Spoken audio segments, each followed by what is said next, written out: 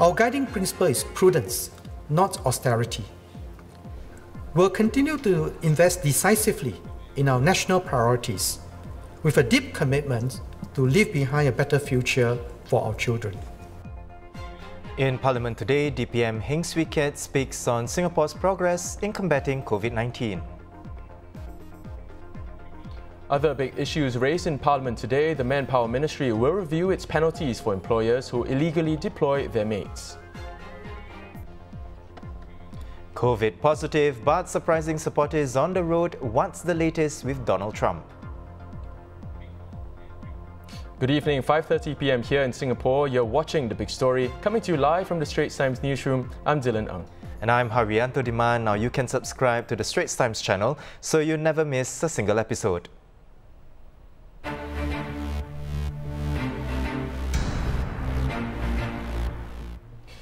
Issues related to the high-profile case of former mate Parti Liyani was hotly debated in Parliament today, with MPs filing 14 parliamentary questions.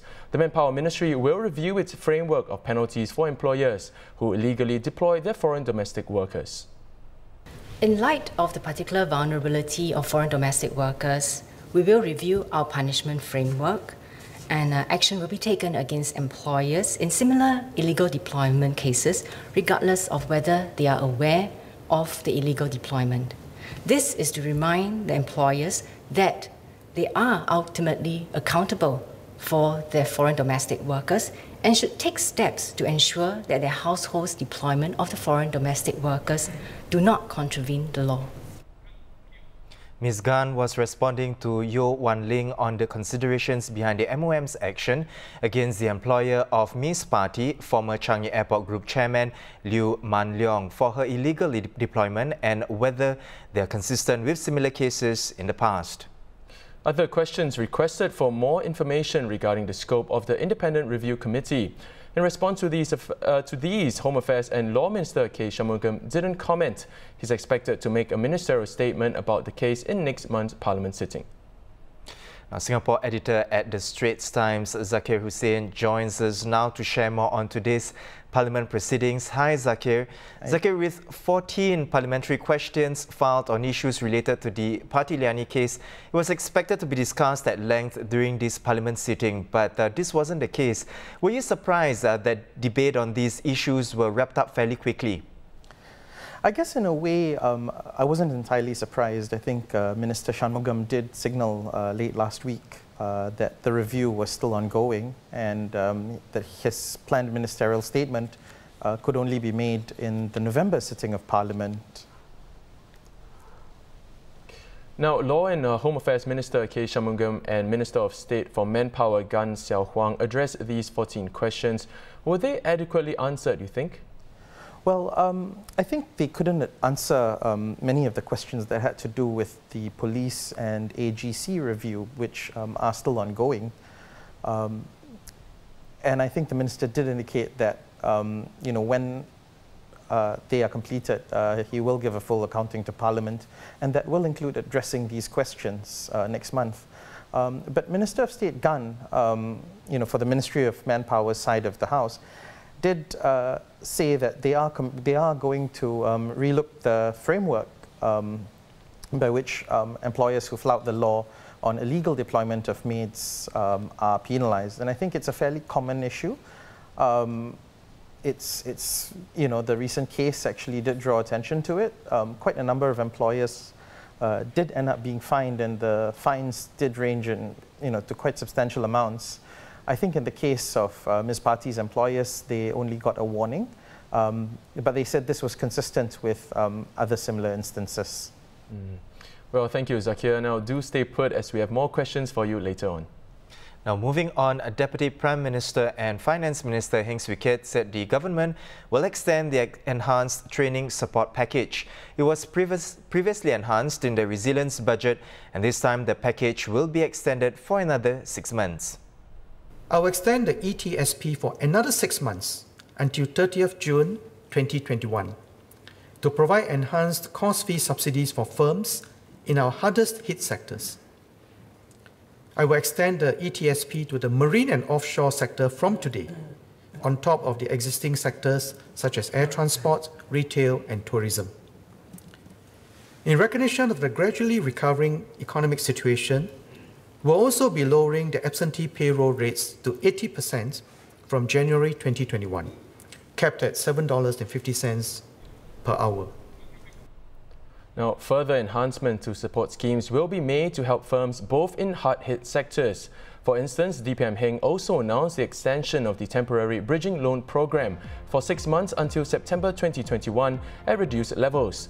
The program is aimed at helping local companies manage their immediate cash flow needs. Other measures are also being put in place and extended for firms that are growing. The higher tier of wage support at 50% under the Jobs Growth Incentive Scheme will be provided to firms who hire people with disabilities between September 2020 to February 2021.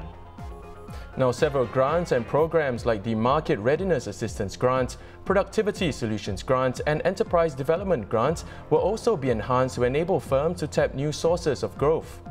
In addition, the Monetary Authority of Singapore will also extend the MAS Support Dollar Facility for Enterprise Singapore loans until September 2021. Now, DPM Heng also announced more support for newborns. This one-off support measure comes on top of the baby bonus cash gift, which provides eligible parents up to $10,000 in benefits. We've received feedback that COVID-19 has caused some aspiring parents to postpone their parenthood plans. This is fully understandable, especially when they face uncertainty with their income. Hence, to help with expenses during this period, will introduce a one-off additional support for newborns. This will be on top of the baby bonus cash gift, which provides eligible parents up to $10,000 in benefits. Minister Indranee will share more details on the additional support soon. Let's bring in Singapore editor Zakir Hussain again. Zakir, Mr. Heng spoke at length in Parliament today, giving an update on Singapore's progress in our fight against COVID-19. Now, what stood out for you? I think a couple of things uh, did uh, stand out. One was the, you know, I think the, the newborn extra cash support came as a bit of a surprise. Uh, we had expected, you know, there'd be no new measures um, and in a sense, this was more in a, you know, perhaps an extension of some of the support measures like uh, the bridging loan and all that, that have come about. Um, the other thing was I think the marine and offshore sectors are also feeling the brunt of the pandemic and the crisis. And I think it's good that, um, you know, these, it, it's a key sector for the Singapore economy. And I think it's good that they get the same level of enhanced support that um, those affected workers in aviation and tourism already do. Mm.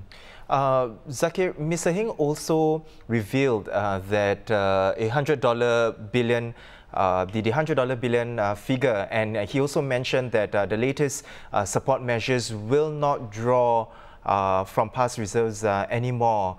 could you elaborate on that? Yeah. So I think the 100 billion did come about and, and that was the total amount that Singapore's devoted to the pandemic since it's started earlier this year. Um, the estimates that the, the, estimate is that it saved about 155,000 jobs through the job support scheme, possibly more. And um, I think a lot more is being done to ensure that some of these um, workers, I think, uh, you know, get the training and support and skills uh, upgrades they need uh, to stay um, competitive. Mm. I think the other point that, that really um, Minister elaborated on was this sort of broad, three broad strategies um, to keep the economy um, vibrant for the next you know, five to 10 years.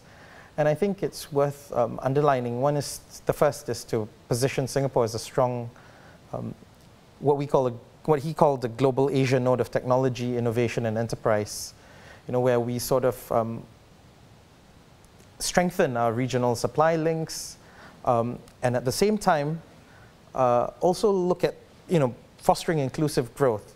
So in a way, making sure that all workers get the skills and support they need, but that also, um, just like the extension of the Jobs Growth Initiative to include uh, persons with disabilities, um, to ensure that you know, we take measures and, and steps to ensure that we stay inclusive.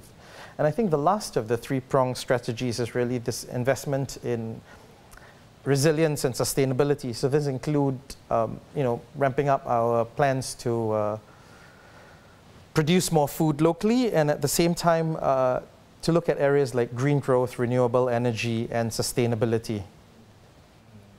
And Zakir, are these uh, approaches new? Would you consider them new? I think they're not entirely new, um, but I think the way uh, coming at this point in, in you know uh, six months after the crisis hit us, um, and at a time when you know questions might be asked about what plans we have for the future, I think uh, DPM Heng underlined that look we've had these plans in place. Um, they build on what's been suggested and proposed before, but um, this might be a time for us to relook and revisit this, and maybe see how um, you know some of the measures and plans um, we're putting out in the next few months could um, better uh, strengthen some of these arms. So for instance, if you talk about um, ensuring resilient supply chains, right? And then uh, one way to do that might be to look our, look, relook our, say, free trade agreements and, and make sure that, you know, we've got, um, these include areas like the digital economy, um, similarly, for inclusive growth, making sure that uh, persons with disabilities and people who might not normally be in the workforce or find it difficult to travel for work, um, you know, we look at finding ways to make sure that they get matched and supported by the job, you know, with jobs and with training as well. Mm. Well, thank you, Zakir, for coming on the show. We've been speaking to Singapore editor at the Straits Times, Zakir Hussain. I'll catch up on today's Parliament proceedings at straitstimes.com. Now, also raised in Parliament, DPM Heng also said more details on when Singapore will enter the third stage of its phase reopening will be released by the Multi-Ministry Task Force in the coming weeks.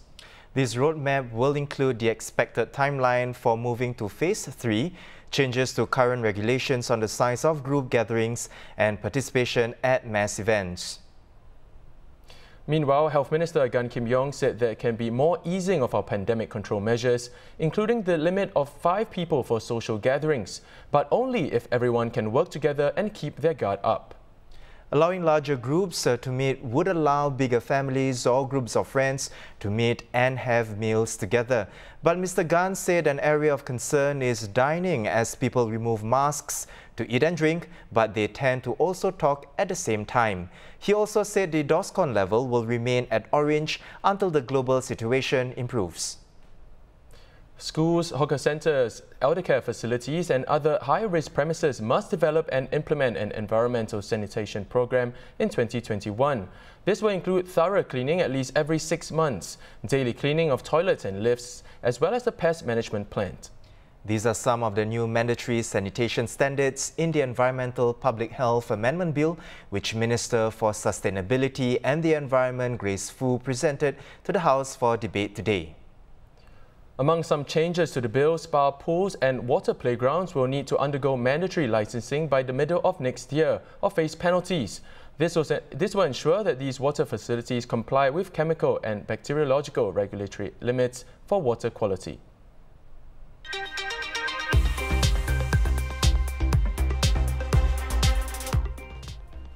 Now on to an update on the COVID-19 situation here. Seven new cases were confirmed today, including one case in the community and five residing in dormitories. In addition, there is one imported case who had been placed on stay-home notice upon arrival in Singapore. The Health Ministry will share more details later.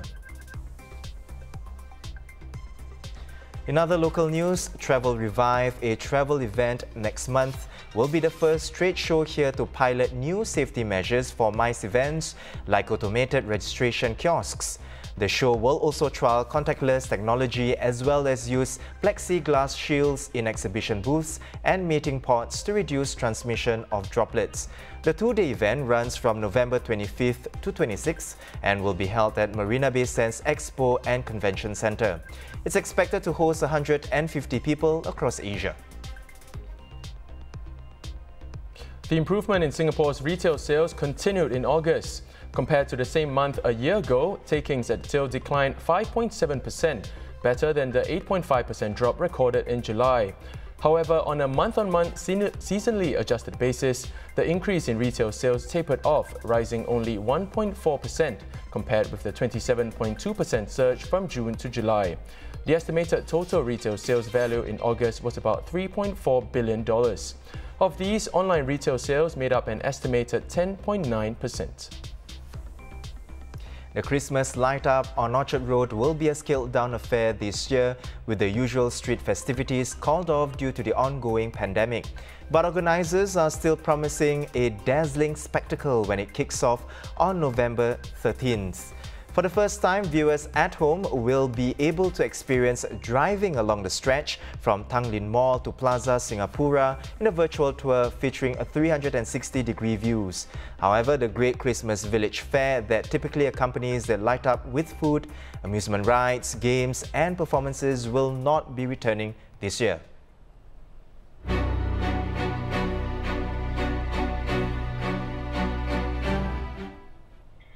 Over in the US, a COVID-19 diagnosis didn't stop President Donald Trump from making an appearance over the weekend, driving past supporters outside the hospital where he's being treated. Now, he was seen in a dark face, face mask and waving to the crowds as he rolled past in his motorcade. In a video posted to Twitter, Mr. Trump said he was going to pay a little surprise to some of the great patriots on the street. He added he, quote, learned a lot about COVID by really going to school as he battled the virus in hospital. Mr. Trump's doctor said earlier that the president has continued to improve, adding that he could be discharged to the White House as early as today. We're now joined by the Straits Times foreign editor Bhagyashree Garekar to discuss this further.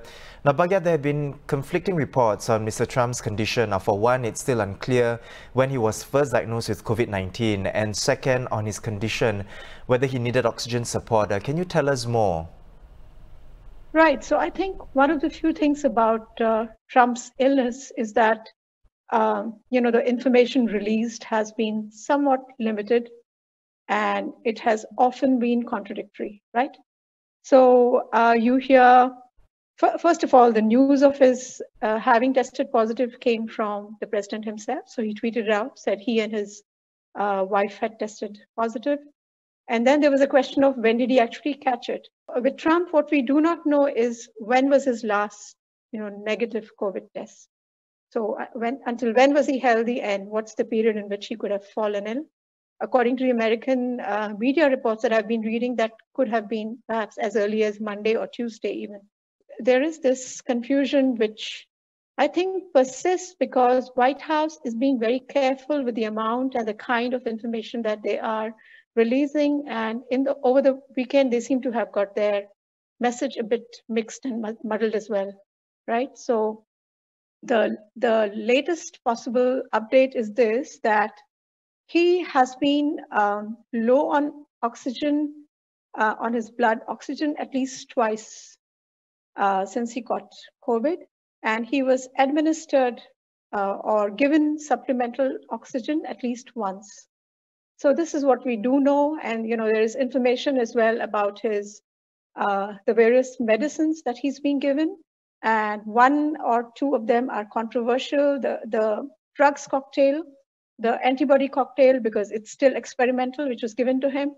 Uh, and the other one is the, you know, the steroid, which is given in cases which are severe or critical. So the question is, why is the president, who is seems to be walking about, he, you know, uh, he toured outside, he's been recording videos, who seems to be fine. Why was he given something that's given to people, a medicine that's given to people when they are perhaps on ventilators? Now, Mr. Trump's uh, COVID-19 diagnosis doesn't appear to his campaigning efforts like the surprise visit to his supporters outside the Walter Reed Military Hospital yesterday. How much of a hit has his campaign taken, uh, seeing that he hasn't taken a break? Well, okay, I'll say that although he is, you know, in a hospital, he's actually able to keep quite a live line to his supporters. You know, he's been tweeting nearly every day uh, yesterday he released, I think it was a four minute video on Twitter where he was speaking directly to camera and, um, you know, talking about what he was doing, how well he was. And, you know, he was looking forward to be back and campaigning on the ground again. He was complaining against having been, you know, told to be confined in a room and it's not something he wanted to do. So basically he has a direct line to his supporters. He knows what their mood is and he wants to project this image uh, of a man who is very much, you know, in the swim of things, who's uh, in hospital, but who is recovering. He says he stays strong. So in that sense, it has an impact at his campaigning. But on the other hand, this is a man who likes to play to the crowds. He enjoys his rallies. And, you know, even during all these COVID months, he's been going out and campaigning. He's been going out to the swing states. He's been holding events uh, to which supporters have come. So this part of it is curtailed for now. The other thing that I think should be important from the, you know, Biden's point of view, because Biden is out campaigning now. Biden hasn't. Uh, at some point, he was, you know, staying and talking from his from his house, and he was being criticized from, you know, just running this election from his basement. But now you can see he's stepping out. He's out and about. So Biden may be stealing a bit of a march over him in that sense. Mm. Uh, Bhagya, Mr. Trump isn't the only political leader to have contracted uh, COVID-19. Now, back in March, UK Prime Minister Boris Johnson also tested positive for the virus, even spending several days in the ICU. Now, Mr. Johnson's popularity jumped then. Is Mr. Trump seeing a similar effect? Yeah, well, it's hard to say. If you look at just the polls, for instance, if you look at the latest polls that are out, and these show him in a contest with Biden, those would tell you that uh, he's lost ground. He's, according to one poll, at least this is by uh, Wall Street Journal and NBC, he's 14 points behind, uh, you know, Biden at this point. Uh, but is this capturing perhaps the sympathy that's being generated for him? Biden himself has campaigned, uh, has suspended his negative campaigning. So in that sense, I think uh, there isn't, um, you know, there isn't a, um, uh, a measure to capture his, uh, you know, popularity at this point to capture it post-COVID. But uh, I think most human beings would have sympathy for someone else who's undergoing this kind of uh, this kind of thing. On the uh, vice presidential debate that's coming up, it happens on Wednesday. Kamala Harris, who is Biden's running mate, it's already been reported that she's having to tailor her you know, criticism somewhat because she doesn't want to be attacking, seen directly attacking a person who's sick. Mm. So there is a measure of sympathy towards him. Hmm. Uh, it might be temporary. We are still a month away from elections. It might help him in that sense. And uh, to compare him to, say, Boris Johnson, um, well, Boris Johnson, we know, saw a rise in popularity afterwards. There was uh, sympathy for him when he came down with COVID um, there, there is a measure of that. However, now that he is, you know, recovered and he is continuing to lead his country in this COVID situation, his popularity levels are again dipping. Hey, thanks Bhagya for coming on the show. It's always a pleasure. We've been speaking to the Straits Times foreign editor Bhagyashree Garekar. Now visit straitstimes.com for all the latest developments on this story. In the global headlines, U.S. Democratic presidential nominee Joe Biden tested negative again for COVID-19 on Sunday for the third time since President Donald Trump disclosed his infection. The two presidential candidates had, of course, shared a debate stage in Cleveland last Tuesday. With just about a month ago, a month to go to the November 3rd election, Mr. Biden and his aides have used Mr. Trump's positive test to underline a consistent campaign message that he would handle the pandemic better than Mr. Trump. Former Malaysia Prime Minister Najib Razak's 1MDB trial has been delayed to October 19th as he's in quarantine after travelling to the COVID-19 hotspot of Sabah. The delayed trial revolves around 25 money laundering and corruption charges. Mr. Najib was earlier sentenced to 12 years in prison. Tasmanian devils have been released into the wild on Australia's mainland 3,000 years after they went extinct there. Aussie Ark, together with a coalition of other conservation groups, revealed today that 26 of the carnivorous mammals have been released into a 400-hectare sanctuary north of Sydney. There are about less than 25,000 of the endangered animal left in the wild. The Tasmanian devil is one of seven cornerstone species critical to Australia's ecosystem that Aussie Ark plans to reintroduce in the coming years. In football, Manchester United manager Ole Gunnar Solskjaer said his team's 6-1 hammering against Tottenham was his worst day at the club as a manager and a player. The defeat was United's joint worst loss in the Premier League era, equaling their 6-1 defeat by Manchester City in 2011. In a tweet, Marcus Rashford apologised to the club's supporters, stating that the performance was just not good enough and that they deserve so much better than that. Meanwhile, Liverpool manager Jurgen Klopp admitted his surprise to Aston Villa's stunning 7-2 victory over the reigning Premier League champions. Aston Villa's Ollie Watkins' first half hat-trick saw the Reds become the first reigning English champions to concede seven goals in a league match since 1953.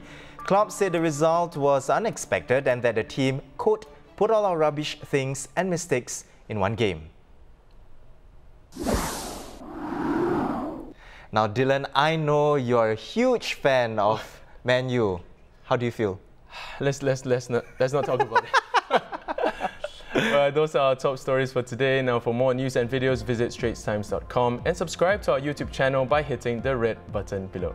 Once again, I'm Haryanto Diman with Dylan Ang. Join us tomorrow for more stories on a big story.